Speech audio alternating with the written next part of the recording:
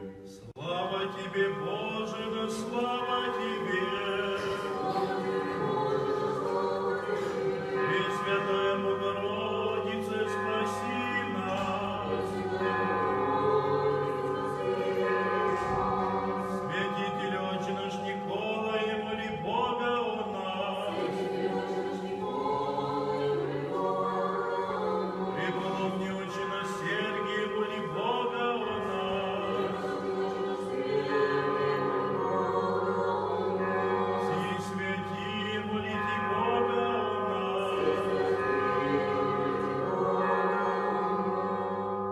Во имя Отца и Сына и Святого Духа.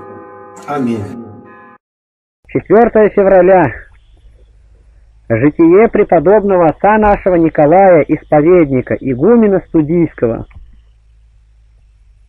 Преподобный отец наш Николай родился на острове Крите, в селе, называемом Кедонии, откуда был родом и святой мученик Василит, пострадавший в числе десяти мучеников на острове Крите.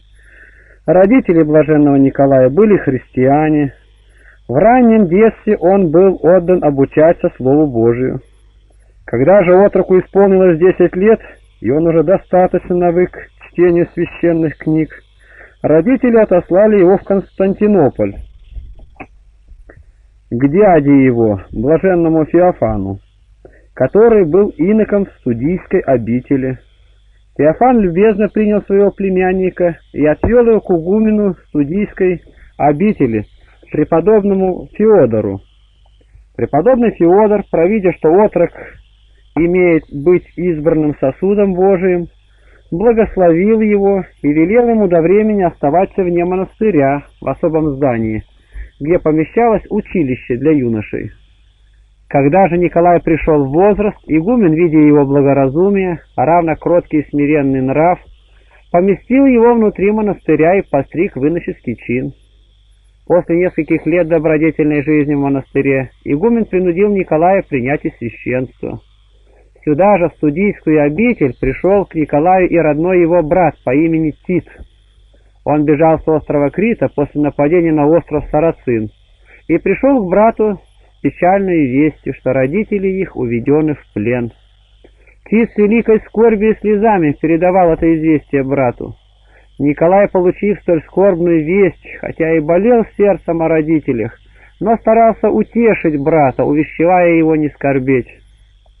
«Так угодно было Богу, — говорил он брату, — ибо без воли его не падает и волос с головы. Он знает, что делать для пользы человека, поэтому возложим на него нашу печаль и промышления о наших родителях. Нам же нужно самим заботиться о том, чтобы не быть плененными похотью плотскою и прелестями века сего, и чтобы рука невидимых врагов не отвела нас в землю тьмы и мрака непросветного». Тит умилился и утешился этими словами брата, и по настоянию его был пострижен и сам сделался добрым иноком. В то время церковь Христова, управляемая добрыми пастырями, пребывала в мире и тишине, но спокойствие ее внезапно было нарушено бурью возмущения, произведенного еретиками и иконоборцами, во главе которых стал злочестивый царь Лев Армянин. Лев Армянин был патрицием царствования благочестивого царя Михаила, прозванного Рангавом, но хитростью сместил Михаила с престола, заняв его сам. Для этой цели он воспользовался войной греков с болгарами. Царь, отправляясь на войну начальником над восточными отрядами своего войска, поставил льва, не подозревая, что тот домогается обманом свергнуть его с престола. Когда произошла битва, греки начали побеждать, и болгары готовы были обратиться в бегство. Но лев, условившись заранее со своими, им же, подкупленными военачальниками, внезапно обратил свои отряды на бегство, хотя их никто не преследовал. Болгары, видя беспричинное отступление греков, сначала подозревали со стороны их обман, но потом, увидев, что греки не останавливаются в бегстве, ободрились и, выступив на них, долго преследовали их, уничтожив большое количество греческих воинов, так что царь Михаил потерпел полное поражение. Лев достиг своей цели, ибо войско и народ сошли царя трусливым и малодушным, не умеющим вести войну.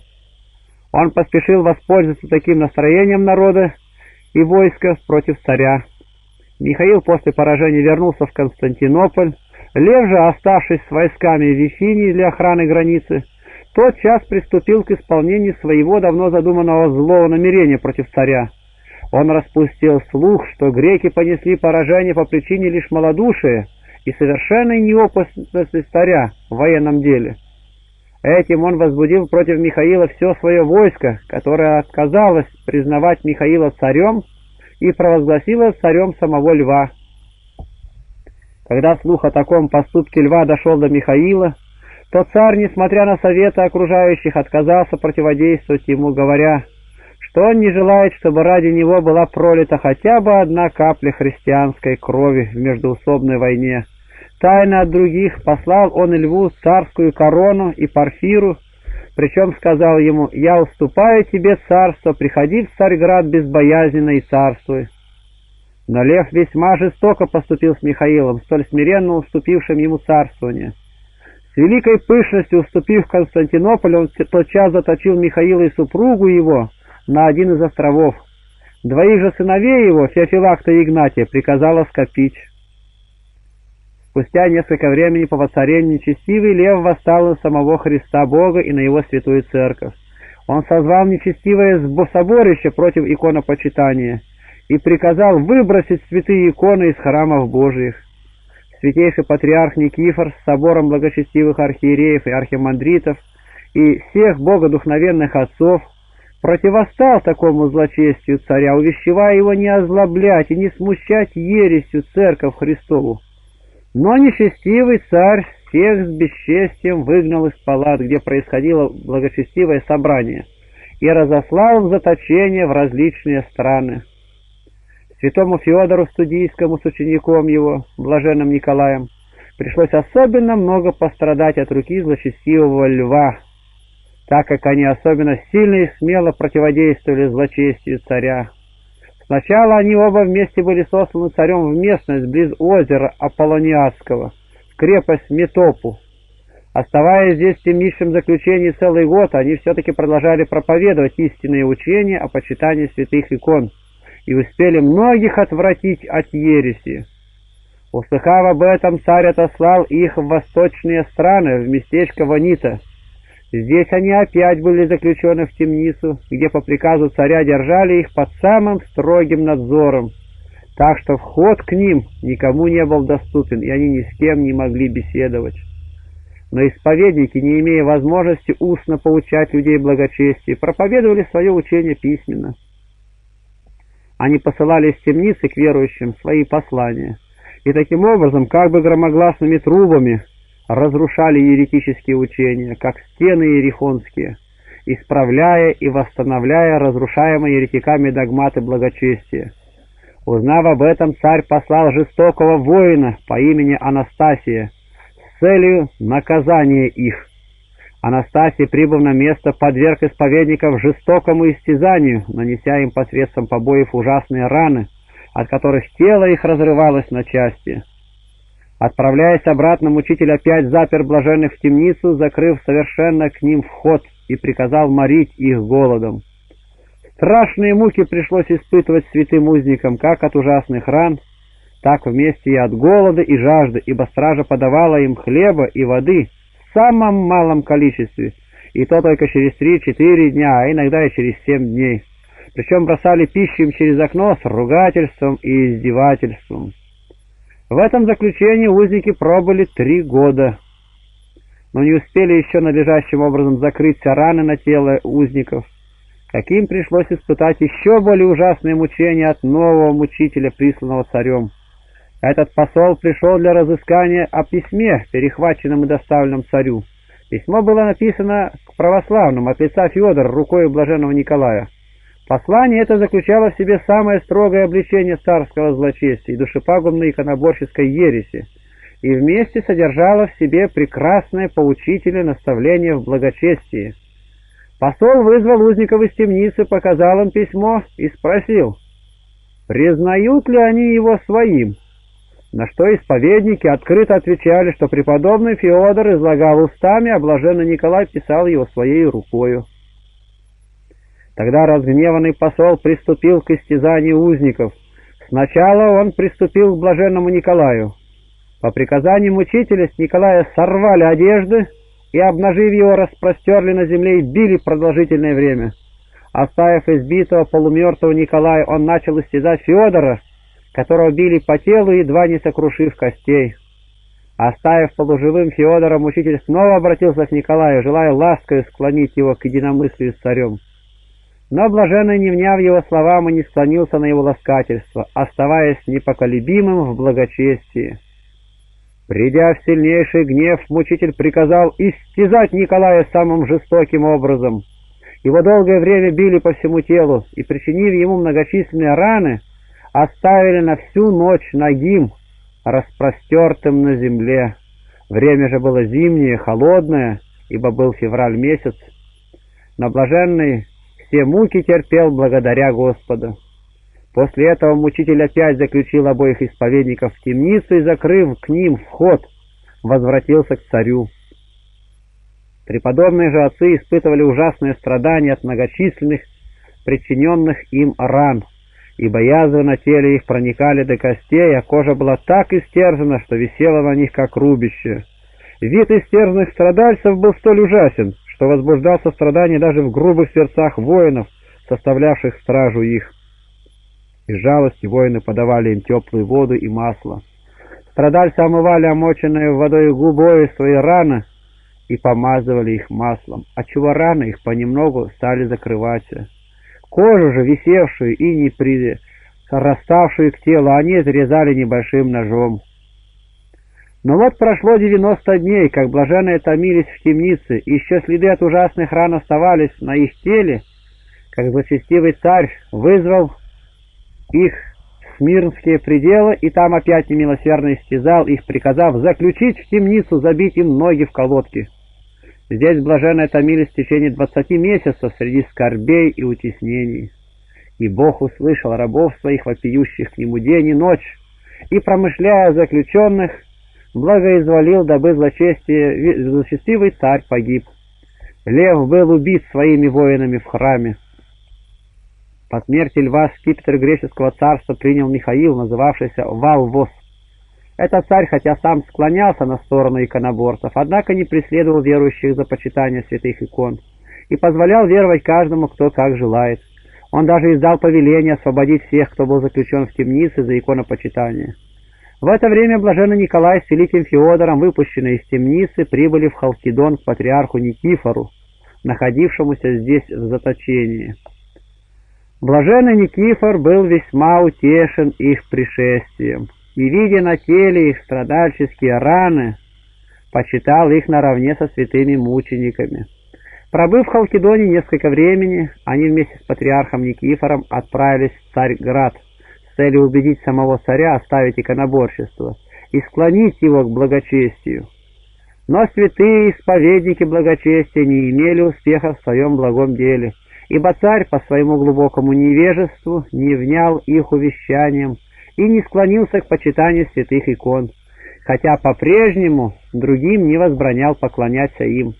Впрочем, не воспрещая в окрестностях и в предградии ставить святые иконы, царь строго воспретил делать это в самом царствующем граде. По этой причине святые отцы Феодор и Николай, простившись с патриархом, оставили Царьград, дабы иметь возможность свободно сохранять свое благочестие в соединении с почитанием святых икон. Они поселились в Акрите, близ храма святого мученика Трифона. Здесь святой Феодор спустя несколько времени окончил свое земное поприще и в мире представился Богу. Преподобный Феодор Стутиц скончался 67 лет 826 года. Блаженный же Николай, оставшись при гробе своего духовного отца, проводил житие свое в иноческих подвигах. После смерти Михаила воцарился сын его Феофил. 829-842 годы. Сей царь был ревностным иконоборцем и со всей жестокостью начал преследование верующих за почитание святых икон. Опять верующие стали терпеть гонения и мучения от иконоборцев. В это время много пострадали два брата по плоти и по духу, преподобные отцы Феодор и Феофан Начертанные. Это иноки Иерусалимской лавры святого Саввы. Прибыв в Константинополь при Льве Арменине, были заточены за обличение ереси иконоборцев. При Феофиле же иконоборце на их лицах была выжжена надпись, свидетельствовавшая об их поклонении святым иконам, отчего они и называются начертанными. После этого они сосланы в заточение. Феодор в темнице отошел к вечному упокоению около 840 года. Феофан же освобожден при царице Феодоре и поставлен митрополитом Никейским. Тогда и блаженный Николай, оставив место пребывания при гробе духовного отца своего Феодора, и переходя с места на место, пока не умер царь-иконоборец Феофил. По смерти Феофила царская власть перешла к супруге его, благочестивой царице Феодоре, которая правила государством совместно с сыном своим Михаилом. В церкви Христовой, управляемой в Царьграде патриархом святым Мефодием, наступила опять тишина, и снова сияло благочестие. Тогда и блаженный Николай пришел в студийскую обитель. Здесь по смерти Навкратия, исповедника при патриархе святом Игнатии, 847 по 857 год, бывшим вслед за святым Мефодием, он был поставлен игуменом. Спустя три года блаженный Николай, предоставив игуменство свое блаженному Сафронию, мужу добродетельному, сам удалился в уединение, где пребывал в безмолвии. Но по истечении четырех лет, как только Сафроний приставился ко Господу, в 854 году, братья пришли к преподобному Николаю и после многих просьб убедили его опять принять игуменство. После этого блаженный Николай игуменствовал несколько лет. Между тем царь Михаил возмужав стал весьма развратен нравом. По совету дяди своего брата-матери по имени Варды – он изгнал мать свою блаженную Феодору из царских палат и принудил ее постричься в одной из женских обителей, а сам пригласил к совместному царству не дядю Варду. Такой поступок царя с матерью возбудил сильное волнение в народе. Соблазн был еще сильнее от того, что и соправитель царя Варда позволил себе страшное беззаконие, оставив жену свою, взяв вместо нее жену своего сына. Святейший патриарх Игнатий, желая исправить такое развращение царей и прекратить беззаконие Варды, непрестанно увещевал их, но без всякого успеха. Однажды царь Варда явился соборный храм в праздничный день с намерением причаститься причистых тайн. Патриарх же не только не позволил ему причаститься, но перед всем народом изобличил в беззаконии и отлучил от церкви. Варда воспылал сильнейшую злобой на патриарха и возбудил против него и Михаила. Оба царя, согласившись, лишили патриарха престола, сослав его в изгнание а вместо него поставили патриархом Фотия Асинкрита. Патриаршествовал с 857 по 867. Асинкрит – приближенный к царю придворный чин. Видя такое нестроение церкви, блаженный Николай покинул монастырь свой и, взяв брата своего, ушел с ним в одно монастырское селение на острове Приконнисе, и там проводил жизнь в безмолвии, не желая ничего слышать о беззаконии царей но здесь он недолго прожил, будучи изгнан отсюда. Однажды оба царя плыли на корабле мимо того места, где имел свое пребывание святый. Зная, что Николай, как муж добродетельный, пользуется большой славой у людей, они свернули к нему, дабы ласкательством склонить его к единомыслию с собою, чтобы он подтвердил своими словами справедливость изгнания патриарха, а равно признал бы и беззаконный брак Варды. Но он не только не одобрил их злодеяний, но и предрек им, что они погибнут внезапно и злой смертью, если не раскаются в своих злых делах, что исполнилось впоследствии. Услышав это от святого, цари озлобились на него и изгнали его оттуда, а игуменом студийской обители по их повелению был поставлен другой. И вот блаженный Николай опять в свои старческие годы принужден был скитаться с места на место но и после этого беззаконные цари не оставили его в покое. По их повелению он опять был взят и в узах приведен в монастырь, где томился в темнице в течение двух лет, пока оба царя действительно не погибли злою смертью. Варда был убит слугами Михаила во время ссоры между царями, когда они были в походе против сарацин на острове Крите, а Михаил был убит своими домашними в своем дворце. После Михаила царский престол занял благочестивый Василий, македонянин, царствовал с 867-886 год. Он тотчас возвратил на патриарший престол Игнатия, был вторичным патриархом с 867 по 877 год, а блаженный Николай был освобожден из темницы. Царь призвал его к себе и убеждал его опять принять к управлению свой монастырь. Николай по старости лет сильно не желал этого, и только по настоятельной просьбе царя согласился принять управление монастырем. Царь часто призывал святого к себе, беседовал с ним, поучаясь добродетельной жизни от его наставлений, и воздавал святому большую почесть. Бог даровал своему угоднику дар исцелять недуги в людях. Супругу царя Евдокию постигла тяжкая болезнь, так что она, не получая никакой помощи от врачей и совершенно отчаявшись в своем исцелении, ожидала близкой кончины. Но вот однажды, забывшись во сне, она увидела старца в иноческом одеянии, сиявшим светом славы.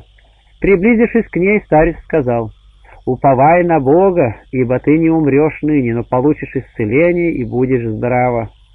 Проснувшись, она тотчас рассказала виденное во сне мужу и умоляла его призвать к ней из всех монастырей старцев, известных своей добродетельной жизнью. Вместе с другими старцами, приглашенными в палату к царице, явился и блаженный Николай, лицо которого сияло светом, как у Моисея. Царица узнала в нем старца, виденного ею во сне, и, вставши, поклонилась ему, и тотчас сделалась совершенно здоровою. Также тяжко заболела другая женщина по имени Елена, жена Патриция Мануила. Она точно так же была близко к смерти, и родственники приготовили уже для нее погребальные одежды. Но блаженный Николай, придя поспешно к ней в дом, перекрестил рукой своей главу ее и все тело, и умирающая встала от одра болезни, совершенно исцелев от тяжкого недуга. Заболел тяжко и сам супруг ее Мануил. Отчаявшись в выздоровлении, ибо врачи не оказали никакой помощи, Мануил ожидал приближения смерти. Перед смертью он пожелал принять иноческий чин — просьбой о пострижении он обратился к блаженному Николаю.